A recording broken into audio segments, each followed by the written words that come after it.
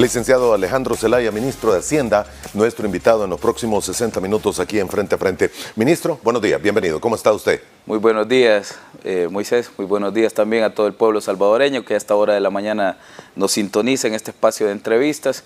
Eh, pues muy contento eh, de estar acá contigo, Moisés, para hablar pues, de varias situaciones hacendarias de los últimos días que creo que es importante que también los salvadoreños estén informados de qué es lo que está pasando con Hacienda Pública y de cómo está avanzando el país en esta materia. Muy bien, llegamos a la fecha 23 de enero, que fue el pasado día lunes, una fecha en la que muchos decían es la fecha apocalíptica, en la que probablemente el país no va a tener la forma de pagar el compromiso y honrar su deuda de los 800 millones de dólares eh, de eurobonos. Eh, se cumplió el mismo presidente de la República indicó a través de un tuit, se ha pagado. Se pagó el pasado lunes, ¿verdad, ministro?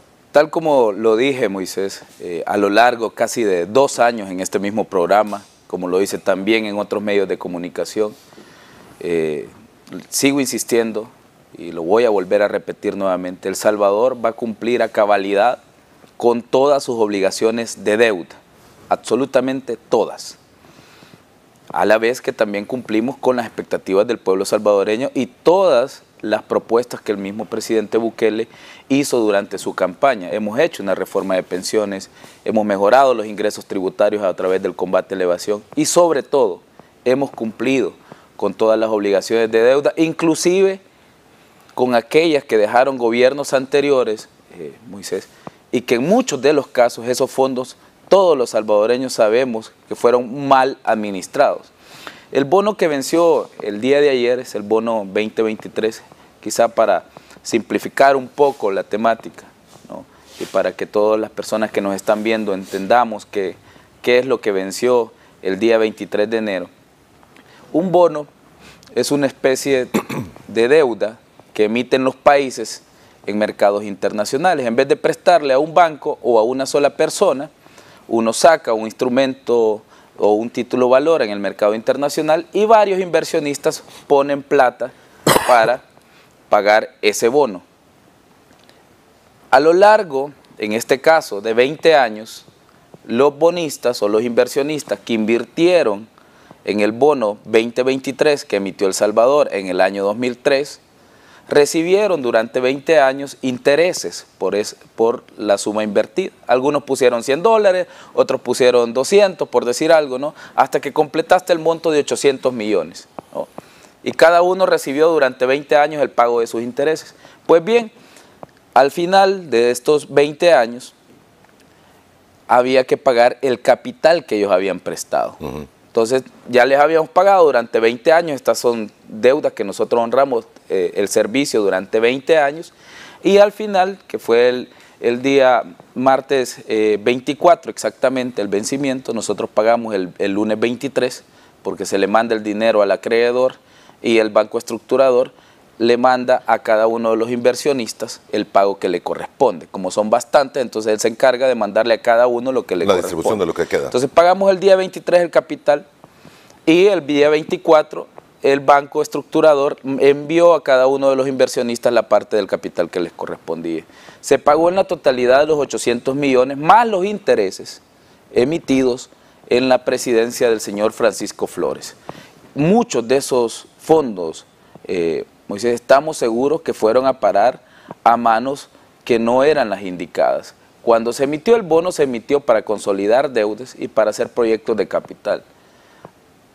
¿Qué proyectos recordarán los salvadoreños de la presidencia de Francisco Flores?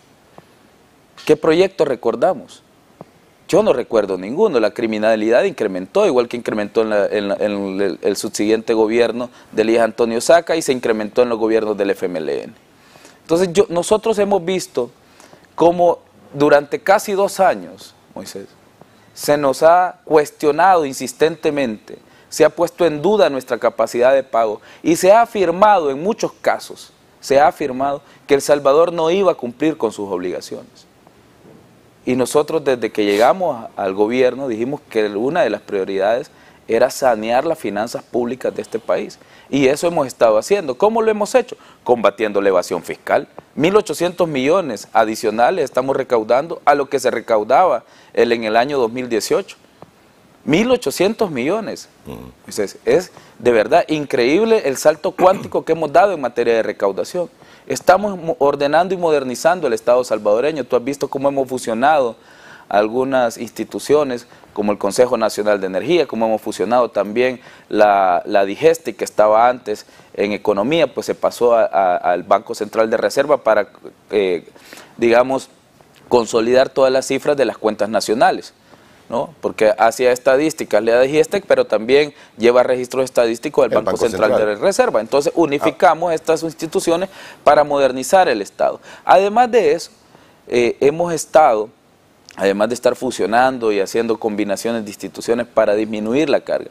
Además de eso, hemos apretado el gasto fiscal en materia de, gasto corriente y hemos priorizado la inversión pública. Eso ha hecho subir el PIB y nuestro porcentaje de deuda ha ido disminuyendo. Gracias a Dios, al final todavía estamos cerrando las últimas cifras, pero creo que vamos a cerrar en un 77% de deuda. si lo comparamos en un 87.9 al que llegamos durante la pandemia, hemos disminuido 10 puntos porcentuales. ¿En qué tiempo? En un año. En un año. En un año. Del año 2020 hasta el año, bueno, dos años, hasta el año 2022 al cierre, digamos, vamos a tener 10 puntos menos de deuda para, para, para el cierre del año 2022. Ahora bien, eso sin contar lo que hemos hecho también en otro tipo de gestiones, como la gestión de pasivos. De hecho, el pago del bono también tiene que ver con la gestión de pasivos que nosotros implementamos. En el país nunca se tuvo una estrategia para hacer recompras. Yo no sé si tú recuerdas o me puedes citar, Moisés, o, alguien de los televidentes nos puede citar, cuándo El Salvador recompró su deuda en el pasado. No hay. ¿Cuándo, se aprobó una gestión de pasivos en el pasado? En, los gobiernos de Arena o en los gobiernos del FMLN.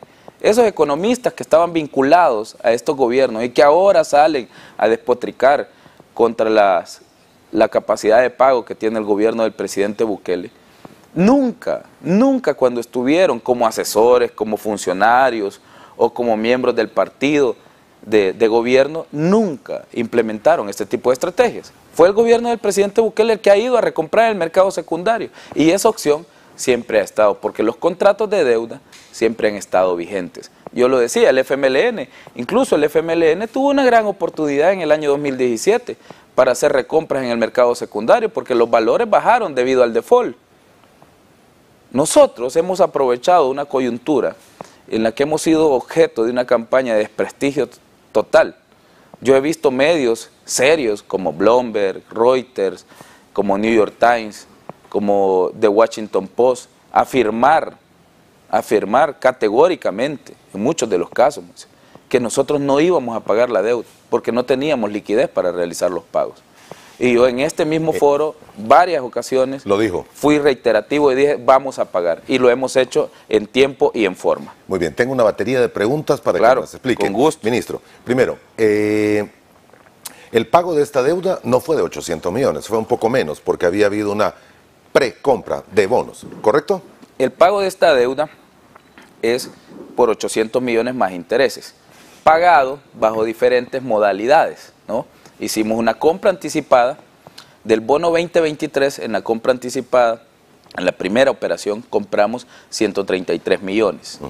Se compraron adicionalmente eh, alrededor de 63 millones para la segunda recompra. Y con eso nosotros hicimos un total de 196 millones pagados anticipadamente los pagamos antes del vencimiento del plazo, porque así lo quisieron los inversionistas. Fue una operación totalmente voluntaria en el mercado secundario y a partir de eso pues nos pudimos ahorrar alrededor de 23 millones en el pago de intereses y capital del bono 2023.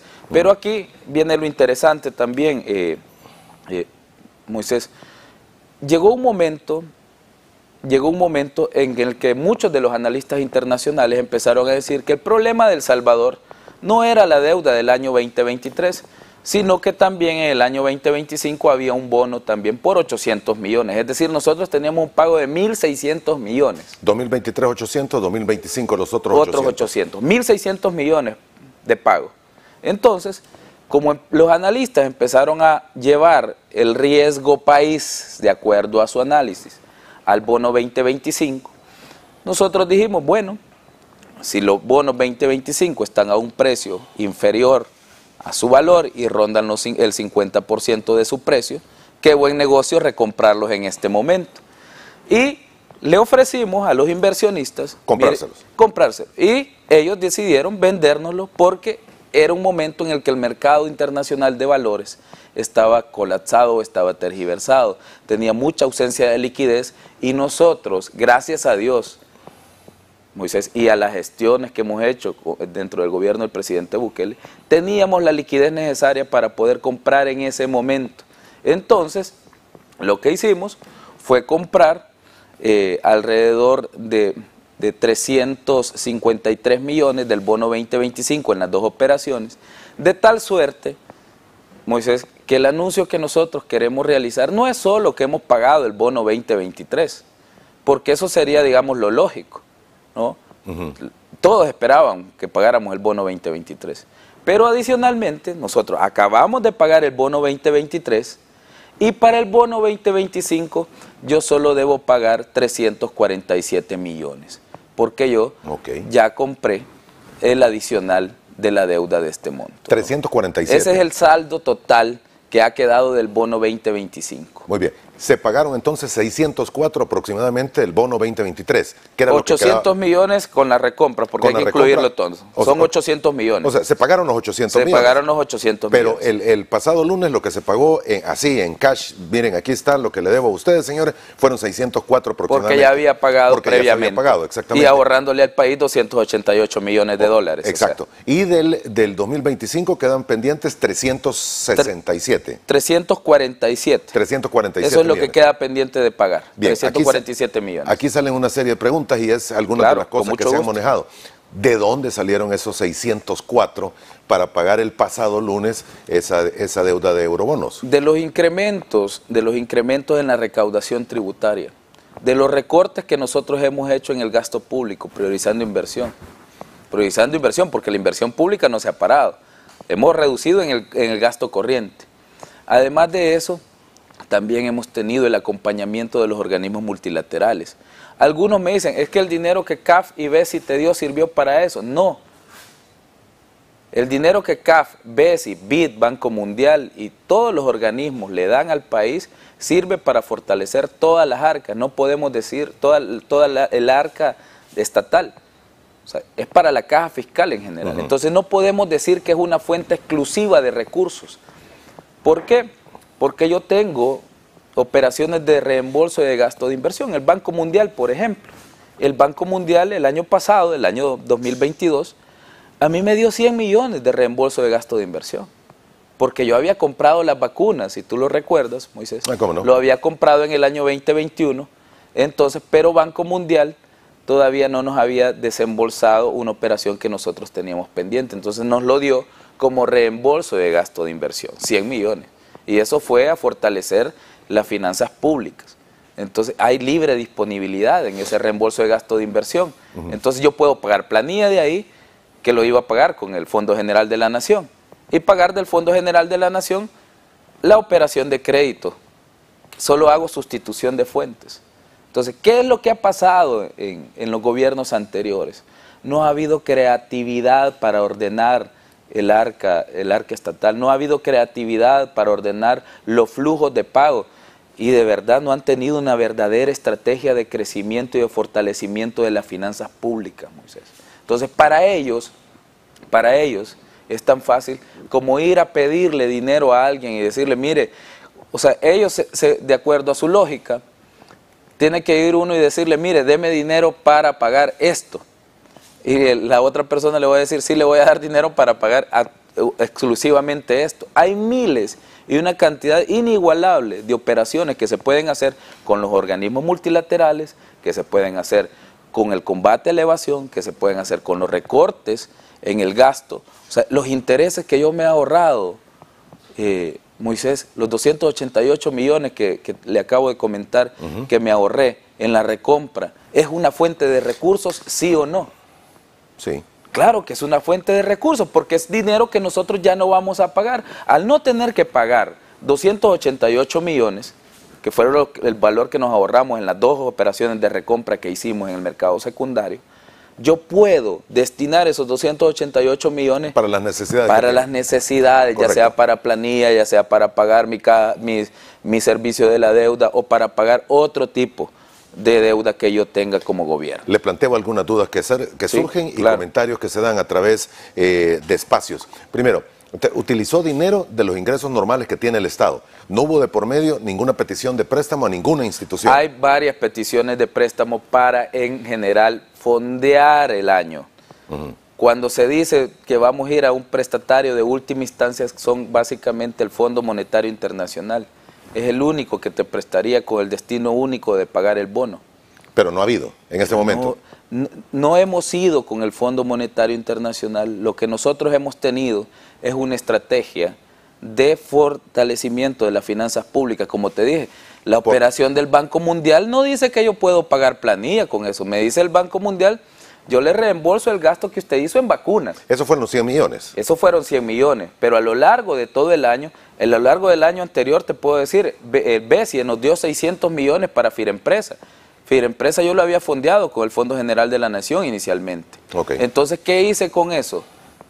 guardar parte de esa, de, esa plata para otras necesidades que incluyen el pago del servicio de la deuda, ¿no? porque ellos ya nos habían dado una operación. Entonces nosotros no podemos decir que hay un organismo multilateral exclusivo que haya apoyado a El Salvador para salir adelante con el pago de los bonos. Todos nuestros socios, Moisés, todos nuestros socios, Banco Mundial, BID, eh, BCIE, el Banco de Desarrollo de América Latina, todos nuestros socios se han comportado más que a la altura con la situación financiera de El Salvador y han ayudado con distintas operaciones. Pero tú te imaginas, nosotros habíamos eh, puesto, por ejemplo, en nuestro eh, plan de, gobierno y de gestión del turismo, Sor City en el oriente del país. ¿De dónde tenía que salir Sor City en su momento? Del Fondo General de la Nación. Pero conseguimos el apoyo del BID y nos dio una operación de 106 millones. Entonces yo puedo cumplir con mi obligación, porque mi obligación también es desarrollar el país y hacerlo crecer económicamente. No solo pagar la deuda, si me dedicara solo a pagar la deuda, el país no hubiera crecido como ha crecido económicamente en los últimos años. Pero yo tenía que pagar la implementación de SOR City en el oriente del país, del Fondo General de la Nación. Pero ahora tengo una operación del Banco Interamericano de Desarrollo. Entonces yo ya no tengo que desembolsar. Entonces, por eso digo que todos nuestros socios se han comportado más que a la altura. No puedo decir o, señalar específicamente a uno, sería ponderar más a unos que a otros y para todos nosotros, todos nuestros socios son importantes. Así como también son importantes nuestras propias operaciones internas. Hemos incrementado la recaudación, recortado el gasto público y además de eso pues estamos generando eficiencia. ¿Qué le responde? Y estas son tres preguntas claro. a quienes dicen utilizó las reservas internacionales. Ese es uno no de los hemos, No hemos utilizado reservas internacionales. Que tomó, que tomó del sistema de pensiones.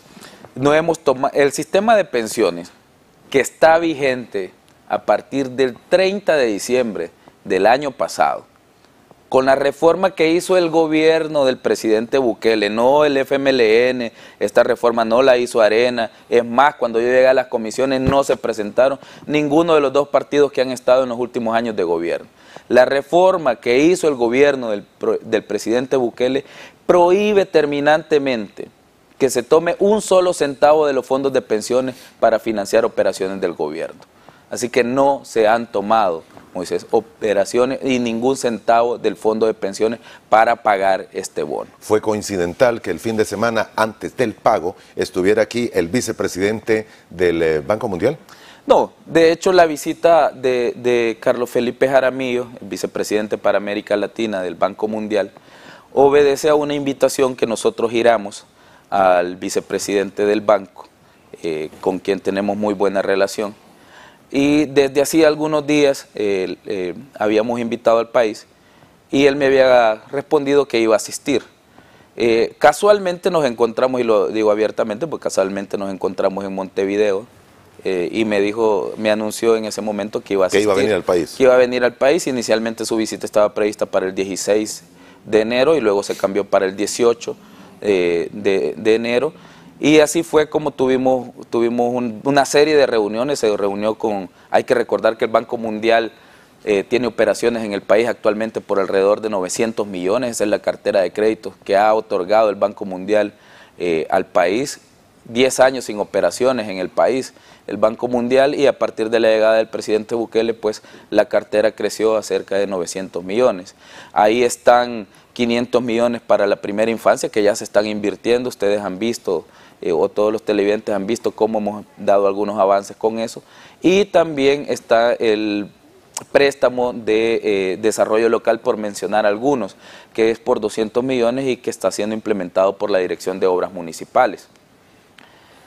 ¿Qué era el objetivo del vicepresidente? Pues ahondar y reafirmar su compromiso con El Salvador. Platicamos de las nuevas operaciones y cuál es el futuro eh, entre la relación Banco Mundial-El Salvador. Reafirmó no solo internamente en la reunión, sino públicamente, dijo, reafirmo el acompañamiento del Banco Mundial para las inversiones de una, en una adecuada reactivación económica, empleo y para las inversiones en primera infancia. Esas son las tres áreas que tratamos eh, dentro de la reunión, pero en ningún momento, en ningún momento se ha tratado de, eh, pago del pago de la deuda, para nada. o sea, vino a tiempo y, me dio el pago para salir con este problema.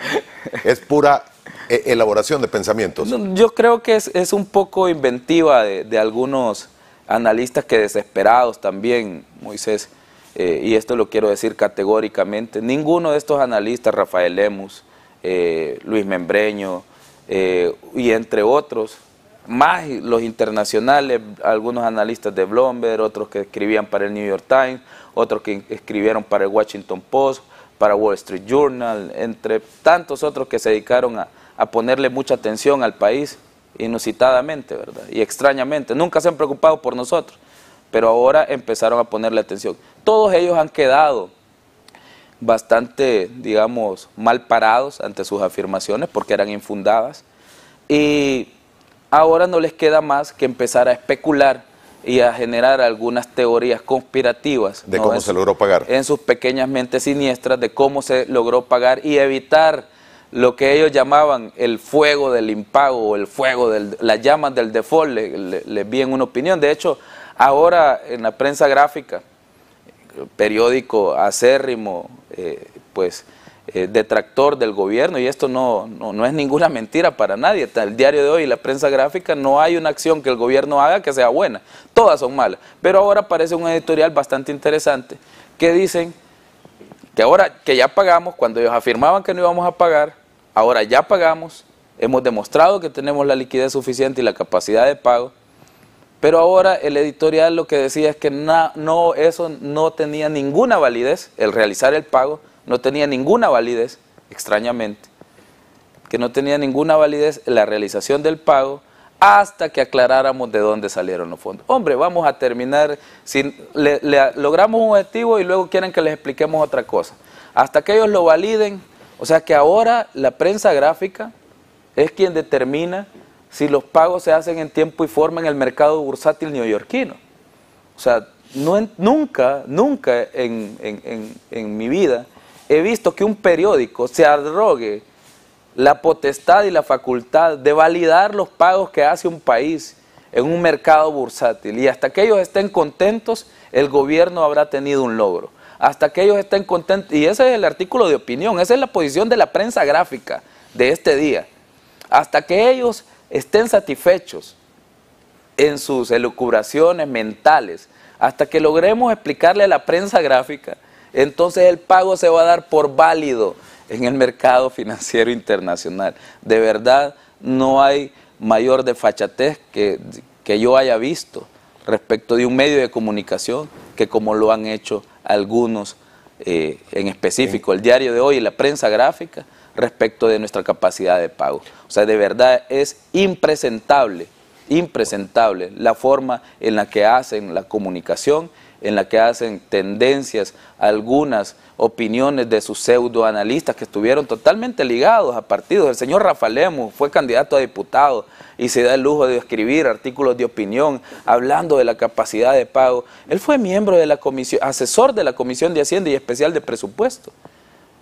Creo que cuando el FMLN entró en default, él estaba en la asamblea y no pudo lograr consenso político porque ese default, el del año 2017, el real, el que sí existe, no es el, el, el que vendieron medios internacionales y que ahora no han salido a resarcir el daño. Ese default del año 2017 sí fue real y se pudo evitar con un consenso político. Arena no le dio los votos de unos créditos internacionales al FMLN, el FMLN dijo, bueno, yo no tengo más capacidad de pago, así que yo voy a dejar de pagar los CIT, que fueron los certificados, eh, de, los certificados previsionales, ¿no?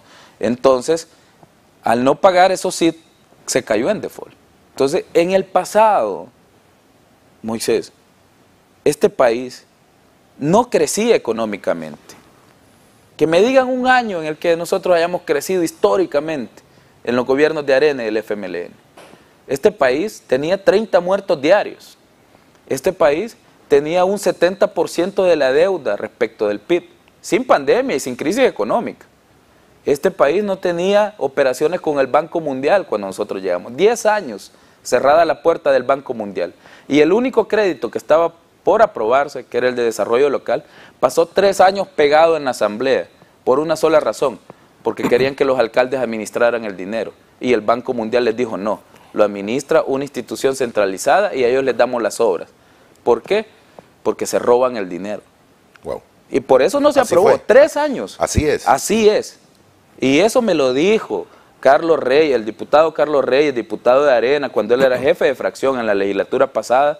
Yo llegué a preguntar por el crédito y me dijo, no lo vamos a aprobar si no manejan el dinero los alcaldes. Y el Banco Mundial no iba a aprobar una adenda que fuera manejada por alcaldes. Que fuera manejada por los alcaldes. Tenía que ser centralizada. Entonces te, decía, muertos, bajo crecimiento económico, poca gestión y consenso político en la asamblea.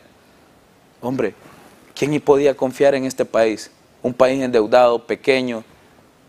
Entonces nosotros hemos, hemos venido a recuperar la confianza, Moisés, de todo este historial de mala administración que hemos tenido durante eh, los últimos años. Y no es fácil. Algunos quieren que nosotros tengamos, bueno, dicen, ¿y por qué no eliminan la deuda de corto plazo? Porque no es fácil hacerlo. Nos dejaron un país sumamente endeudado, que no crecía y con altos índices de violencia. Y para eso necesitamos también eh, estrategias, necesitamos trabajar mucho y lo estamos haciendo. Creo que el país ha visto cómo ha incrementado la recaudación, cómo hemos también implementado estrategias innovadoras como factura electrónica, entre otros, de los cuales ya he hablado en este mismo foro, pero también nos hace falta mucho por hacer. Y estamos muy conscientes de ello. No tenemos el país que deseamos, pero hemos estado trabajando a pasos agigantados durante la administración del presidente Bukele. Bien, ministro, tengo que hacer eh, eh, pausas comerciales, tenemos que cumplir con nuestros anunciantes. Volvemos en dos minutos. Hay más preguntas sobre este tema, ya regresamos.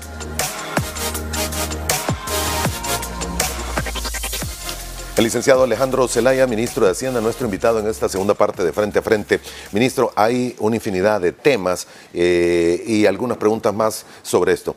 Se logró cubrir el pago de la deuda, ya me lo dijo. ¿Cómo eh, se ha cumplido con el compromiso de enero que se tenía? También ya me lo dijo. Ahora, ¿qué mensajes se han lanzado los organismos multilaterales después de esta operación? Y naturalmente, ¿cómo queda el riesgo de país envy y la calificación que pudieran dar algunas calificadoras de riesgo, valga la redundancia? Son tres, cuatro preguntas en el mismo. Y no sé si ha recibido ya algún aviso de que se está viendo el país de otra forma o continuamos así en el borde de lo que algunos llaman la, la calificación peor?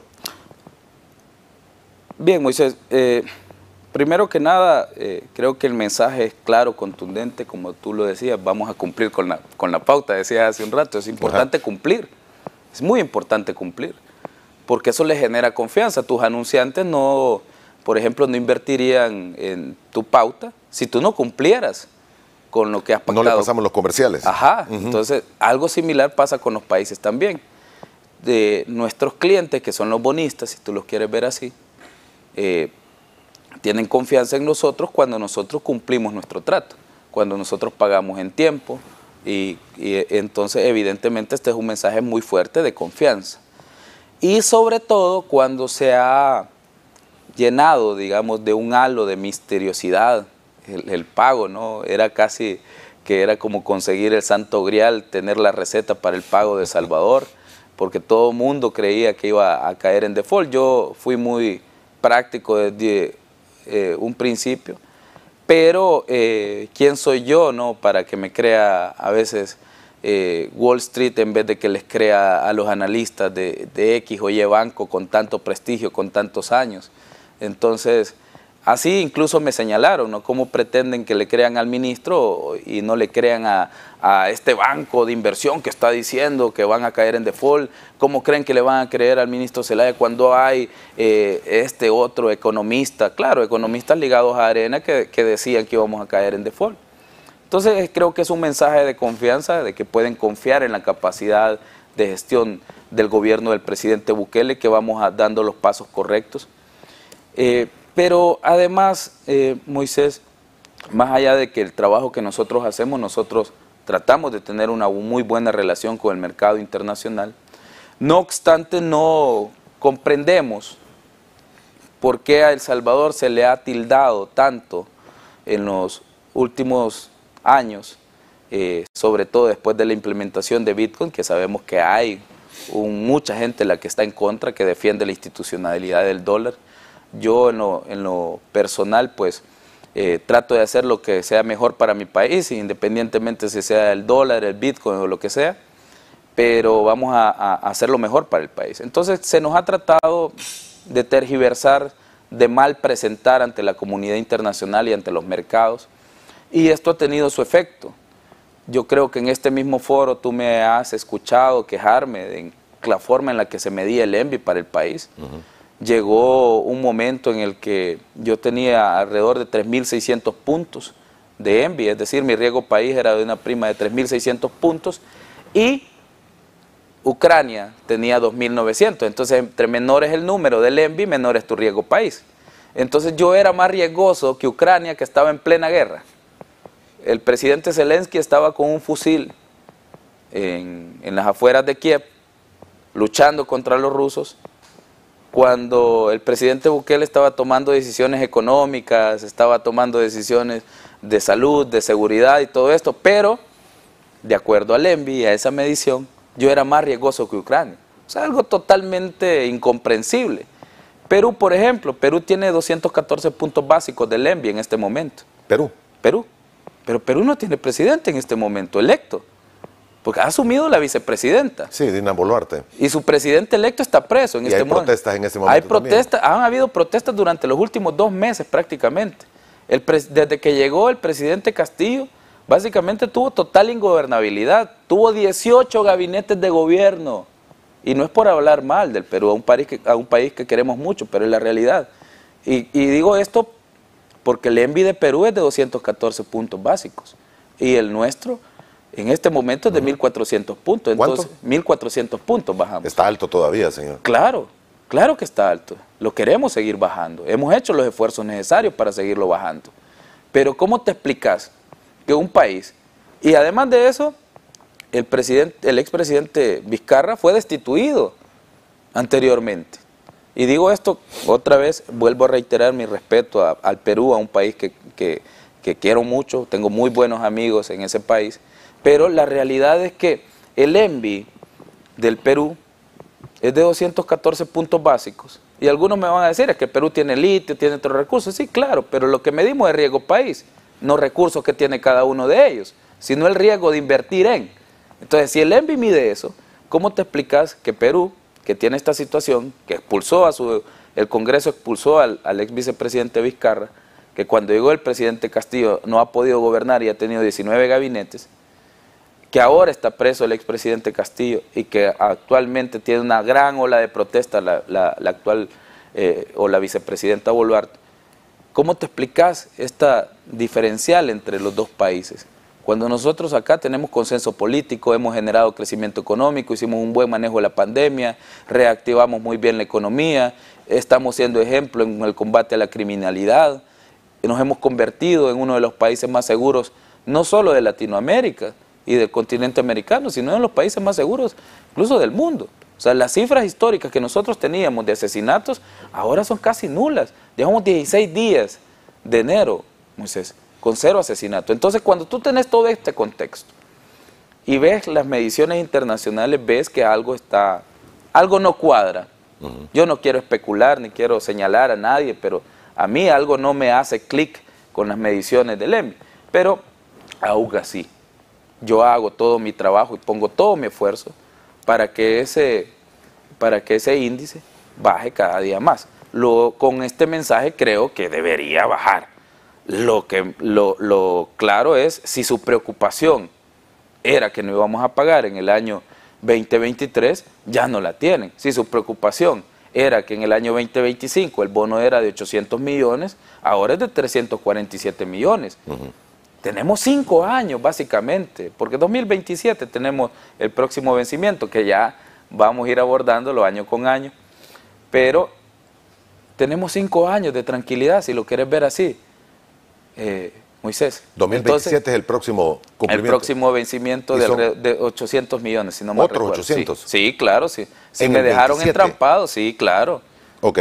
Claro, sí, sí, es que, es que mira, Moisés, eh, el, el presidente el presidente Flores, el presidente Saca, el presidente Funes y el presidente Sánchez Serén, todos han sido enjuiciados por corrupción, los cuatro. Y ninguno de ellos tuvo ningún, ninguna planificación fiscal. Entonces dejaron todos los vencimientos bien cerquita, como que parecía que lo que querían era quebrar al Estado en su momento y que los gobernantes que llegaran no tuvieran ningún margen de maniobra. Entonces, habían, yo sí creo, quizás soy demasiado paranoico y conspirativo, pero yo sí creo que fue una estrategia de estos gobiernos para que cuando llegara, llegase este, llegado este momento, el gobierno tuviera muy poca capacidad de pago y que eso hiciera caer a los gobiernos en turno. Entonces sumir al país en una crisis. Y te digo esto porque sé cómo planifican maquiavélicamente. Entonces, o demasiada incapacidad o demasiada capacidad, digamos, siniestra para eh, endeudar al país y dejarlo con esos vencimientos tan complicados. Pero tenemos cinco años en los que vamos a, hacer, a, seguir con nuestra estrategia de recaudación, vamos a seguir con nuestra estrategia de gestión de pasivos. ya estamos planificando próximas operaciones también, no solo las que ya hemos visto, que son recompras directas o naturales, hay operaciones de exchange que se pueden hacer, hay algunas operaciones que también eh, de garantías que podemos hacer. Hay varios organismos internacionales que nos han ofrecido su apoyo para bonos azules, bonos verdes. Entonces hay que ordenar la curva de repagos, toda la deuda, toda la curva de repagos que tiene el país. Y ver las opciones que se tienen. Hay que suavizarla porque todos quedaron con picos. Y eso lo que hace es generarte algo que se llama estrés fiscal, ¿no? Es en el momento en el que tu, tu caja está tan tan obligada a cumplir. Es una falta de liquidez. No puede cumplir con todo lo que debe. No puedes cumplir porque son tantos. Y no es solo, las, no es solo falta de liquidez, sino es, eh, es un tema de planificación de los vencimientos. Es que no, no tiene que ver tanto a veces con cuánta plata tenés para pagar, sino las condiciones en las que estás pagando esa plata.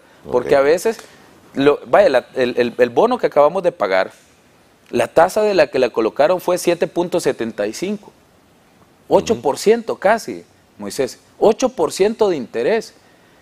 En crisis COVID yo coloqué a esas tasas. En crisis COVID. En crisis COVID. Pero las operaciones que nosotros conseguimos con organismos multilaterales normalmente las firmábamos a un 4 o 5, un 5%. En ese momento el país tenía condiciones para colocar tasas a tasas de un 5%. Pero ¿por qué lo colocaron casi a un 8? ¿Quién se llevó la comisión de los otros tres puntos adicionales? Wow. ¿Por qué si el país tenía las condiciones de colocar a un 5, por qué se colocó a un, a un 8%? ¿Por qué, ministro? No lo sé, habría que preguntárselo a, a los señores de Arena, a los analistas financieros de Arena y del FMLN que estaban en ese momento. Porque teniendo condiciones de ENVI, de colocación a menores tasas, las tasas Lo colocaron muy alto. Las tasas de colocación son altas, o se les encarecieron extrañamente los costos financieros, o no sabemos qué pasó, la verdad. Bien. como usted dijo, hay que cumplir con los compromisos. Hay que cumplir con los compromisos. Tengo otro compromiso que cumplir. Volvemos en dos minutos aproximadamente. Ya regresamos.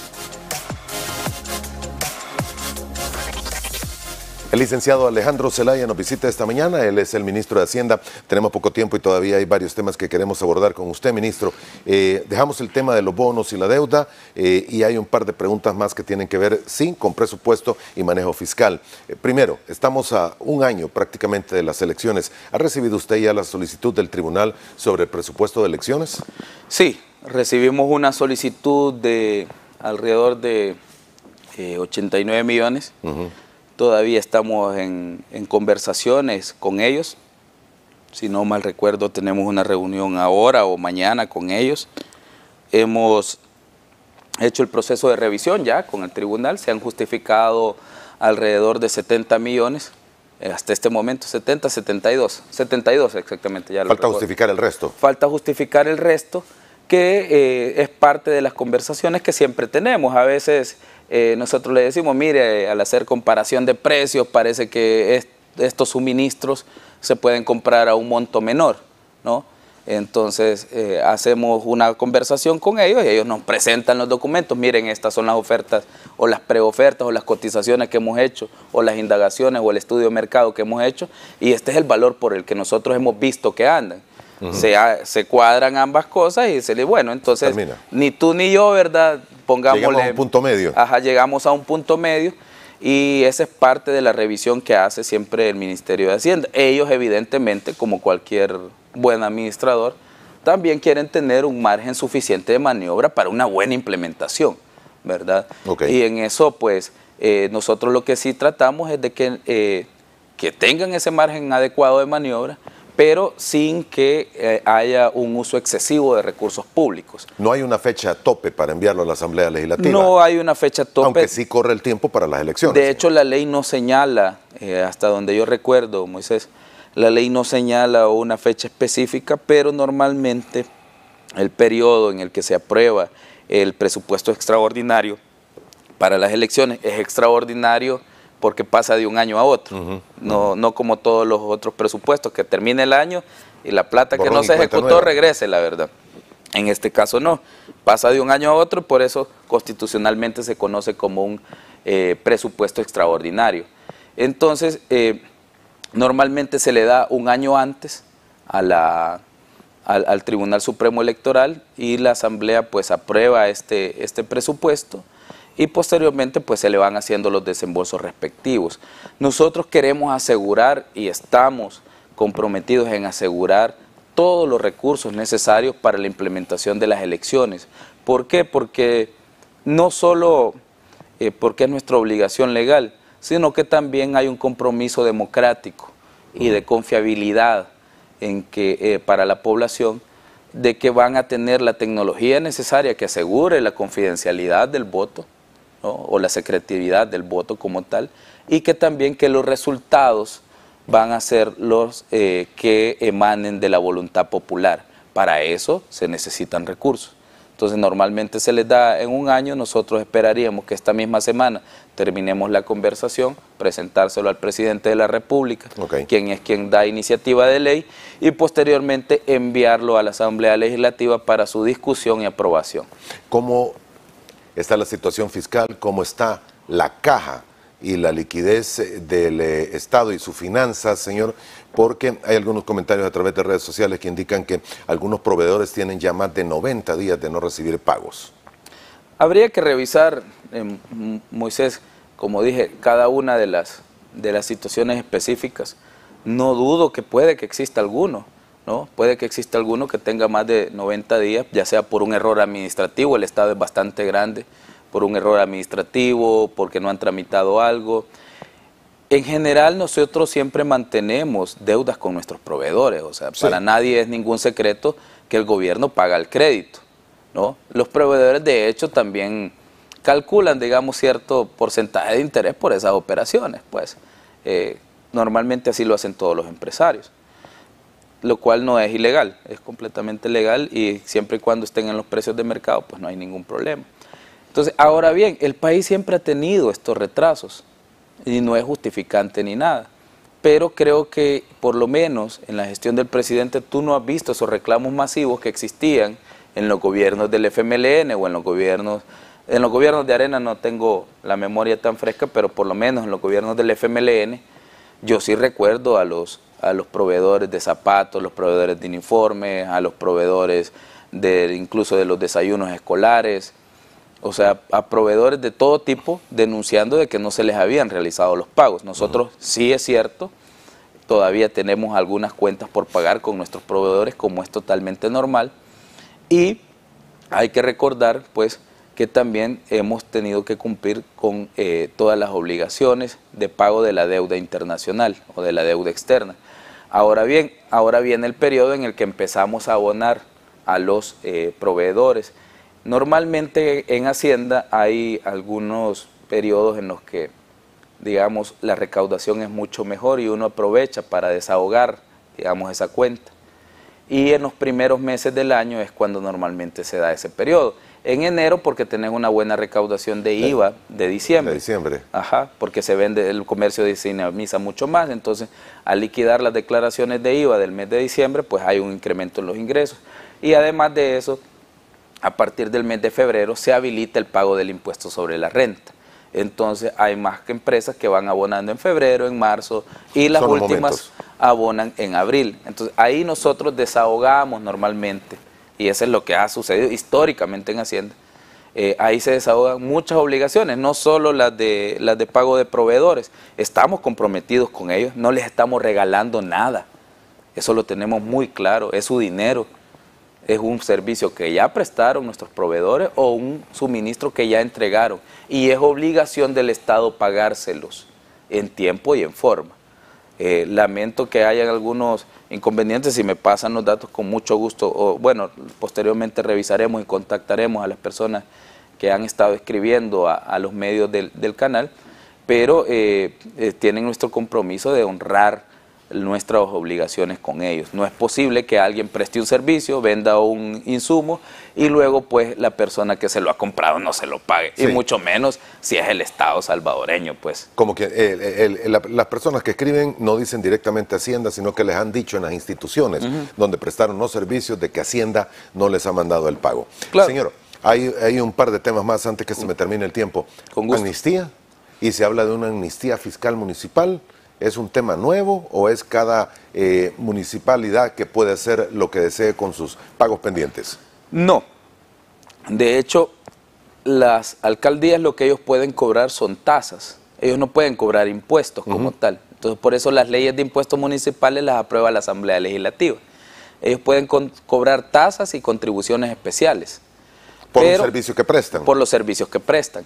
Entonces, eh, pero un impuesto es exclusividad del Estado como tal, porque no hay una contraprestación de servicios, sino que es algo obligatorio, como eh, cualquier otro impuesto que nosotros cobremos. Entonces, para que ellos puedan cobrar impuestos tienen que pasar por la Asamblea Legislativa. La Asamblea Legislativa recientemente recibió una solicitud para que en las alcaldías los contribuyentes, los ciudadanos, que tienen negocios en el municipio, puedan ir a pagar los impuestos por sus negocios sin que les cobren multas ni intereses. Entonces, esa es una facultad exclusiva de la Asamblea. Correcto. Y en virtud de la autonomía que le da la Constitución a los municipios, estos ingresos son totalmente de los municipios. No tienen nada que ver con Hacienda.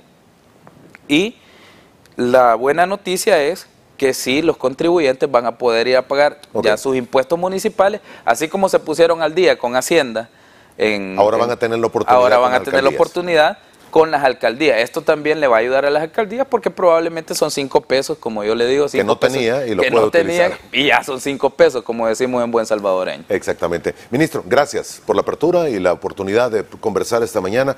Creo que muchas de las dudas quedan solventadas. Naturalmente vamos a estar pendientes de cómo transcurre el año y las necesidades que se tengan. Se le agradece. Gracias, eh, Moisés, y gracias también por, por las preguntas tan directas que a veces son dudas que tiene mucha gente de la, de, eh, eh, eh, digamos que nos mira y espero que hayamos aclarado muchas de esas dudas y pues con mucho gusto otro día que me vuelvas a invitar volvemos a hablar sobre aquello que debe de preocuparnos a todos porque es el dinero de todos y es las finanzas públicas. Y hay que cumplir los compromisos. Hay que cumplir, el, el principal mensaje de este día es que los compromisos se cumplen. Muy bien, y yo tengo que cumplir también.